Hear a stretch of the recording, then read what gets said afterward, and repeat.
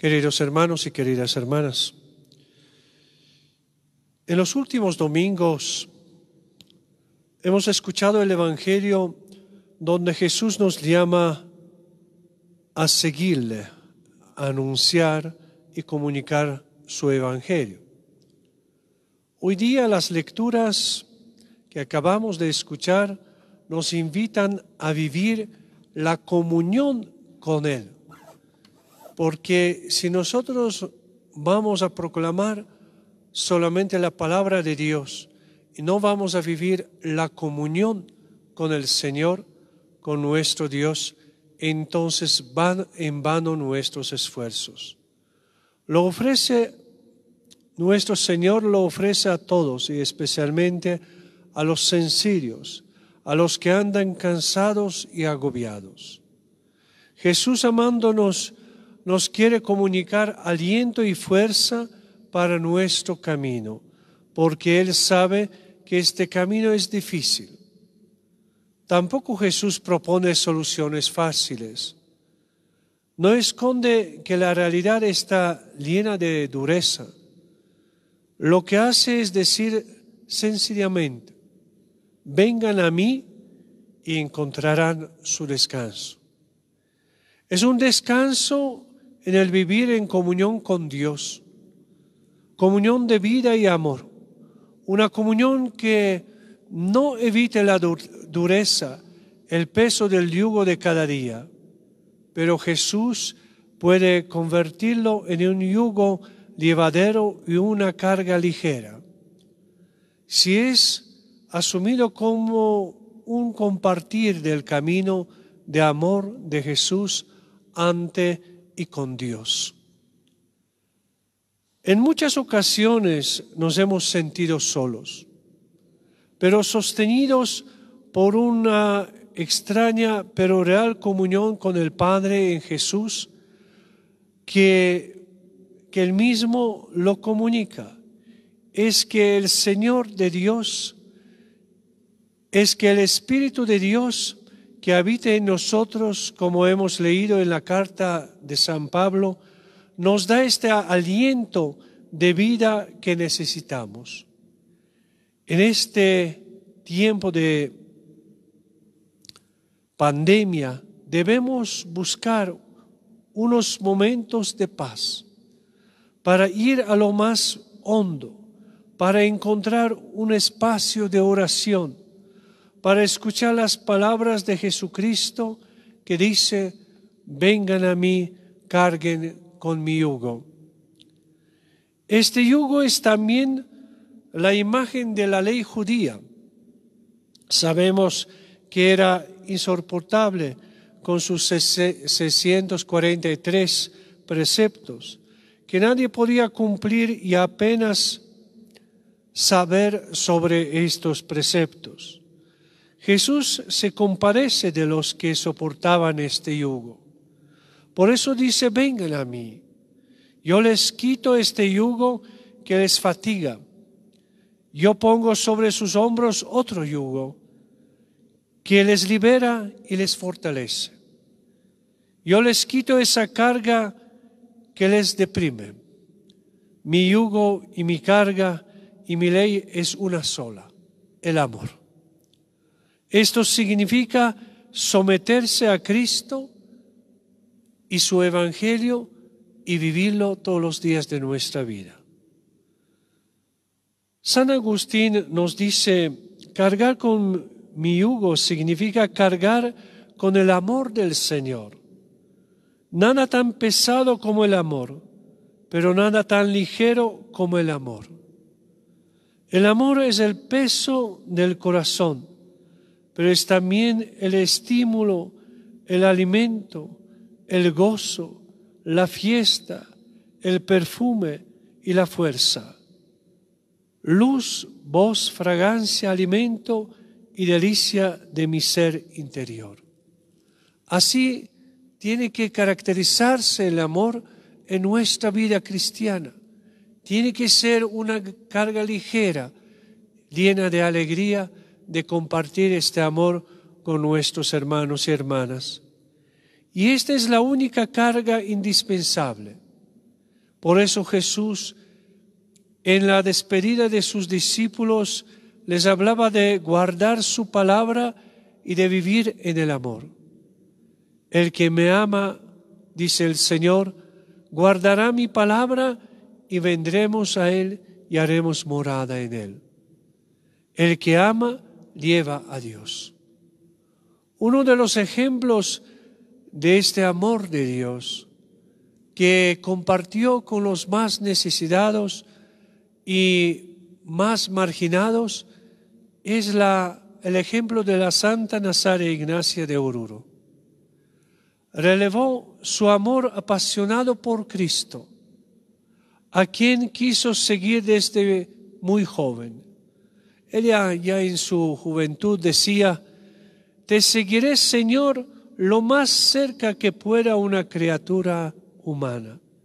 También reveló su amor por la iglesia, destacando incluso que en su congregación estableció un cuarto voto de obediencia al Papa como garantía de su comunión y servicio a toda la iglesia que todos formamos. El reino de Dios era el sustento de la misión de Nazaria Ignacia y los pobres eran el objeto de sus sacrificios. Decía que era preciso bajar a la calle, permanecer en la plaza de la historia acá en Oruro para dar testimonio de fe. No solamente esconderse en la casa, pero salir a la calle. Nazaria Ignacia decía, salir a la calle es lo más importante porque allí encontramos eh, los pobres y necesitados. Y allí podemos dar solamente el testimonio de fe. En varias instancias decía detrás de San Pablo, ay de mí si no anuncio el Evangelio. La misión de Nazaria Ignacia fue el amor a la iglesia como cuerpo místico de Cristo.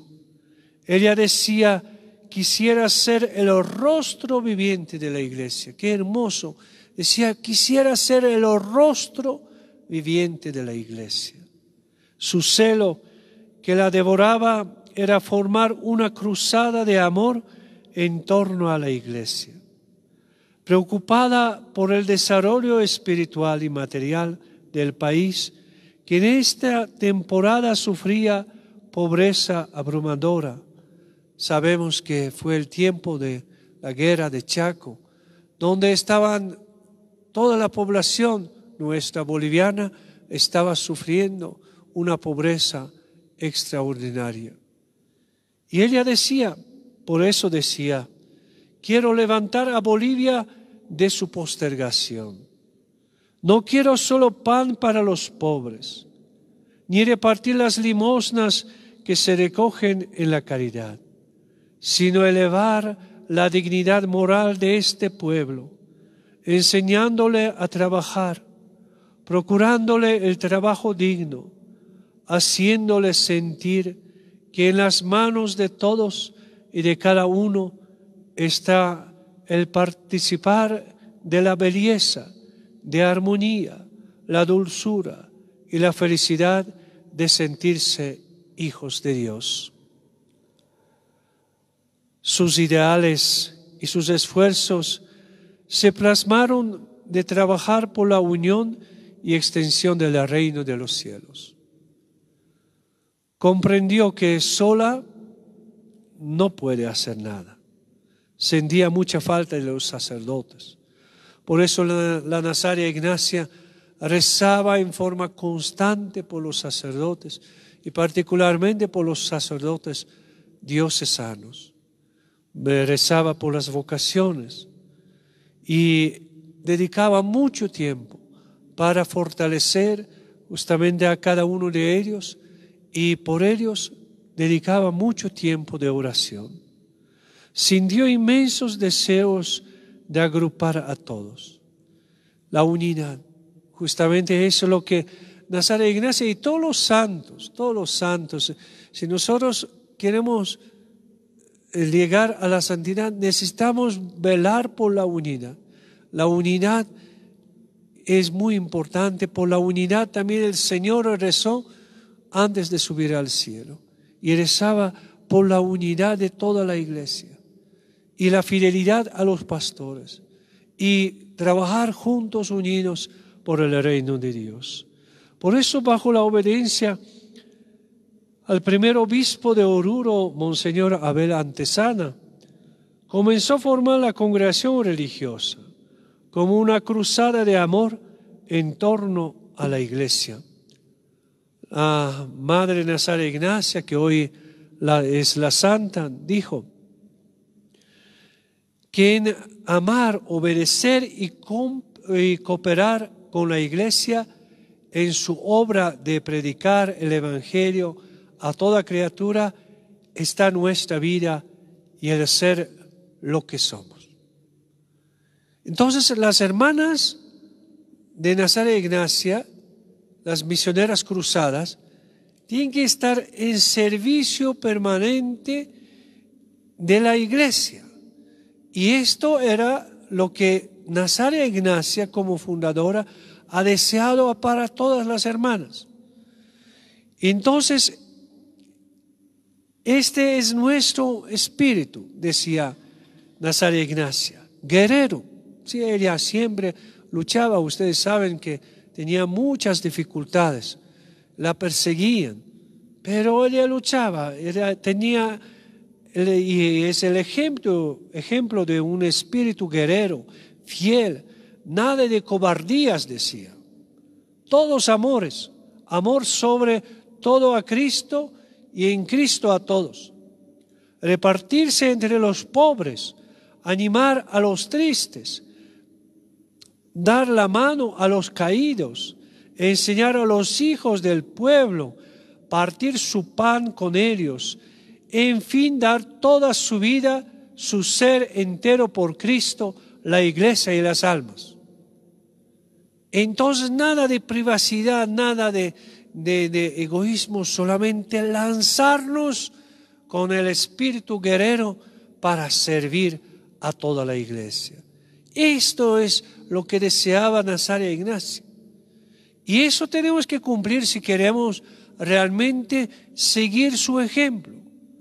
Ella ha comenzado por ese motivo enseguida, enseguida después de la fundación hogares para prestar servicio a los pobres, especialmente a los niños, pero sin olvidarse de servir a la iglesia, de estar allí al lado de los sacerdotes. Para ayudar a los obreros y desempleados, la Madre Nazaré Ignacia se quitaba de su propio pan, estaba desprendida hasta de sí misma, ¿no? Mendigaba para ellos, organizaba asociaciones, como comedores populares, olias del pobre, donde además del alimento se buscaba junto con ellos solución a sus problemas. No solamente daba pan, pero buscaba soluciones, ayudaba a la gente. Se puso en servicio pleno al de pobre y de toda la persona. Su preocupación por los últimos y no atendidos la llevó a crear el hogar de los pobres. La Santa Ignacia afirmaba muy de corazón que la obra es puramente de Dios, no se atribuye nada a sí misma. Esta es la característica también de los santos. La, la persona que eh, santa no dice yo hice esto, ¿no? Solamente es la obra de Dios. Dios así quiso, Así Dios eh, ayudó y tenemos esta obra. Y por ese motivo ella no se atribuía nada a sí misma. Decía, es la obra de Dios. Y recuerdan que comenzó con 40 centavitos. ¿Qué fe esta mujer tenía comenzando con 40 centavitos para servir a los pobres, a, a toda nuestra población? Le escupían en la mano, la trataban mal, pero ella seguía con alegría porque sabía que es la obra de Dios. Y esta obra hay que cuidar. Y Dios, sin duda alguna, le va a ayudar. Y se ha cumplido todo eso. A ejemplo de Nazaret Ignacia, todos los cristianos deben hacer propia la invitación de Cristo. Aprendan de mí que soy manso y humilde de corazón. Y esto caracterizó también a Nazaret Ignacia. Justo consigue, consigue esto con el Evangelio de hoy día. Aprendan de mí que soy manso y humilde de corazón. Nazaret Ignacia fue justamente una mujer mansa y humilde de corazón. No pensaba de sí misma. Cuántas dificultades tenía, pero sabía que Dios le va a ayudar. Si es la obra de Dios, va a salir adelante. La obediencia y humildad de corazón son las armas poderosas con cuales debemos contar en nuestra misión. Cuando bien podemos hacer en nuestra familia, especialmente en este tiempo de pandemia, dirigiéndonos siempre a todos con bondad, sin mostrar impaciencia ante las deficiencias y limitaciones personales de otras personas, indignación ante sus miserias. En este tiempo de pandemia, más que nunca, y mirando el ejemplo de Nazaria Ignacia, tenemos que tener paciencia uno con los otros. Lo que duele escuchar que hay más violencia familiar, hay eh, más discusiones o hay veces hasta peleas. No puede suceder eso. Salgamos entonces a la calle ayudándonos mutuamente, sin formar estas filas tan largas, podemos buscar otras formas, otras formas de, de atendernos, pero es importante no pelear, no no puede caber, y más de todo en este tiempo de pandemia, la violencia familiar. Tenemos que rezar y pedir a Dios por la paciencia, por respeto mutuo, por eso para que podamos ayudarnos mejor y unir la familia, no dividirla. Por otra parte, debemos enseñar a todo nuestro entorno a vivir esta presencia del amor. Debemos enseñar a no devolver mal por mal, a no hablar mal de los demás, a saber dominar las relaciones de enojo y de ira hacia los demás, a tratar con buenas maneras a nuestros hermanos y hermanas. El cristiano debe aprender también a ser humilde. El Hijo de Dios no ha venido con triunfalismos, sino sumamente humilde y modesto, montado de un asno, lo que nos dice la primera lectura de hoy día. Al que es humilde de veras, Dios le concede entrar en su intimidad y conocer los, los misterios de su vida trinitaria la relación entre Padre y el Hijo y el Espíritu Santo. Esto no es solo para algunos pocos privilegiados, sino para todo el bautizado, para todo el que es sencillo y se deja conducir por Dios. Pues precisamente esta es la vida eterna, que te conozcan a ti, el único Dios verdadero, y al que tú has enviado Jesucristo, dice el Evangelio de San Juan. Cristo se nos presenta como nuestro descanso frente a los cansancios y agobios que nos procuramos a nosotros mismos y frente a las cargas inútiles, insoportables que ponemos en nuestros hombros. Cristo es el verdadero descanso y su ley del amor es el alivio. El pecado solamente cansa y agobia. Que la Virgen María nos acompañe en esta tarea de evangelización y las palabras de Santa Nazaret Ignacia de Oruro nos ayuden a ser siempre despiertos en la misión en la casa, en la calle, en todas partes, donde tenemos que escuchar siempre estas palabras sencillas, pero tan importantes. Nazario Ignacia decía, adelante, siempre adelante, nunca se agobien, nunca frenen, nunca quédense parados, adelante, sigan adelante, porque el reino de Dios está ya entre nosotros, solamente todos juntos tenemos que construirlo y ayudar en esta construcción del reino de Dios. Y más de todo en este tiempo de pandemia donde algunos dicen que estamos paralizados, pero cuánto de bien podemos hacer hoy día. Adelante, siempre adelante. Amén.